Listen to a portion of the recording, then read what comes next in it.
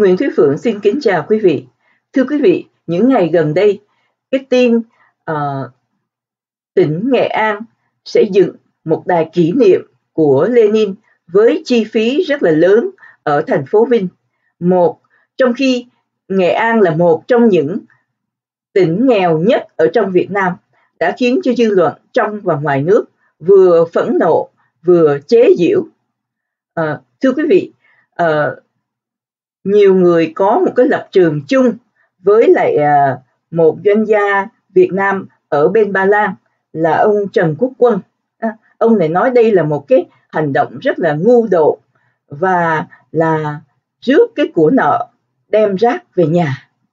Thưa quý vị, à, nói là rác rưởi đó là ý ông muốn nói rằng là ở Ba Lan thì có 500 cái tượng của Lenin đã bị ờ, đập bỏ và uh, ngay cả ở trong cái thành phố mà nơi Lenin ờ, sinh ra đó thì cái uh, số phận của Lenin cũng rất là hầm hiu đó. mà trong khi đó thì Việt Nam chúng ta lại đi trịnh trọng uh, xây đài kỷ niệm của Lenin thưa quý vị uh, theo như thông tin của nhà nước Việt Nam đó thì uh, Ulyanovsk là cái thành phố mà nơi uh, Lenin sinh ra đó tặng một cái tượng cho Việt Nam chúng ta để xây cái uh, đài kỷ niệm này. Nhưng mà không biết là cái tượng đó là họ đúc để mà tặng cho Việt Nam chúng ta hay là một trong những cái tượng mà bị dục bỏ ở bên Nga. Rồi bây giờ uh, đem sang Việt Nam. Cho nên ông này ông nói là đem rác về nhà. À, thưa quý vị, à, thành phố Ulyanovsk, thưa quý vị xin lỗi, Nguyễn Thúy Phượng đọc tiếng tiếng Nga không có được uh, đúng. Ulyanovsk là uh, cái nơi sinh ra của Lenin cũng như là Nghệ An là nơi sinh ra của Hồ Chí Minh. Vì thế cho nên hai thành phố mới là kết nghĩa và Ulyanovsk mới tặng cái tượng đó cho uh, tỉnh Nghệ An. Thưa quý vị, Nguyễn Thúy Phượng có đi tìm hiểu thử xem là ở quê nhà của Lenin thì Lenin được ờ, À, đối xử như thế nào. Thì thưa quý vị, ở thành phố Yulianovsk thì có hai nơi mà còn giữ lại uh, kỷ niệm của Lenin. Thứ nhất là một cái trung tâm lịch sử và văn hóa. Thì ở nơi đây đó thì tượng của Lenin thì được để ở dưới nhà.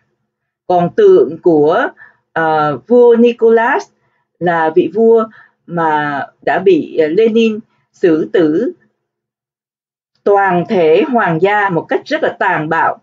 Khi mà cái cuộc cách mạng đẫm máu của cộng sản ở Nga Xô thành công thì ờ, tượng của ờ, nhà vua cũng như toàn thể hoàng gia thì được đem lên lầu ở một nơi rất là trang trọng.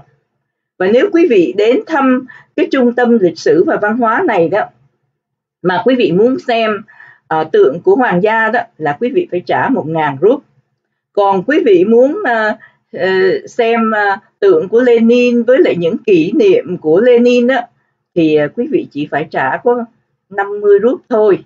Ờ, à, rồi uh, cái nơi thứ hai đó mà có giữ lại kỷ niệm của Lenin ở thành phố Ulyanovsk là quê hương của Lenin đó là uh, một cái bảo tàng viện à, ờ, trong đó có cái căn nhà nơi mà Lenin à, Ờ, sinh ra và lớn lên. Thì ờ, ờ, cái chỗ này bây giờ nó rất là cũ kỹ và cái người giám đốc của cái bảo tàng viện này nói rằng là lúc trước đó, khi mà còn là chế độ cộng sản, thì bảo tàng viện này được rất là nhiều người ở trên thế giới tới thăm ở những người có tinh thần cộng sản xã hội chủ nghĩa ở khắp nơi trên thế giới đến thăm và được ờ, chính quyền uh, trung ương uh, tài trợ. Cho nên là, là rất là là huy hoàng. Nhưng mà sau khi cộng sản uh, sụp đổ rồi đó thì chính quyền trung ương không có tài trợ nữa. Rồi chính quyền địa phương tài trợ rất là yếu ớt. Cho nên là ngày nay cái bảo tàng viện này nó rất là cũ kỹ và cần được tân trang. Nhưng mà không có tiền đâu ra để mà tân trang cả. À, thưa quý vị, à, và một uh, sử gia nghiên cứu uh, về lịch sử ở cái trung tâm này á, thì nói rằng là uh, chính quyền trung ương á, có nhiều người á, là muốn dẹp bỏ cái chỗ này rồi nhưng mà uh, vẫn ráng giữ lại và những người trẻ của thành phố Julianovsk á, thì họ cũng muốn uh, hướng về tương lai chứ họ không có muốn nhìn lại uh, cái dĩ vãng này đó. thưa quý vị đó là uh, cái uh, um, số phận hẩm hiu của Lenin ở chính quê hương của mình nhưng mà bây giờ nhà cầm quyền cộng sản Việt Nam uh, lại uh, xây dựng một cái nơi rất là danh dự cho Lenin ở thành phố Vinh thuộc tỉnh Nghệ An để cho Lenin đi qua đó tị nạn. Thưa quý vị, đó là những nét bi hài của cái việc mà uh, xây tượng đài kỷ niệm cho Lenin ở thành phố Vinh, tỉnh Nghệ An của Việt Nam chúng ta. Nguyễn Thúy Phượng xin cảm ơn sự theo dõi của quý vị và uh, kính mong quý vị uh, đăng ký để xem các video khác của Nguyễn Thúy Phượng. Xin kính chào.